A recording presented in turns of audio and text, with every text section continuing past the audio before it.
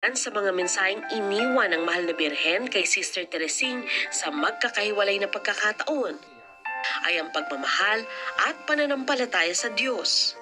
Araw-araw na pagdarasal ng rosaryo, pagdarasal para sa mga madre at pare, at mensahe kaugnay sa bansang China.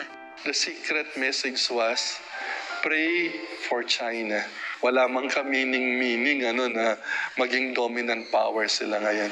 But of course, may kadugtong yung sec- so-called secret na yan. Money, greed of money is the source of all evil. Nagbabala rin daw ang mahal na birhen sa paghihirap ni Sister Teresing hanggang sa wakas ng kanyang buhay.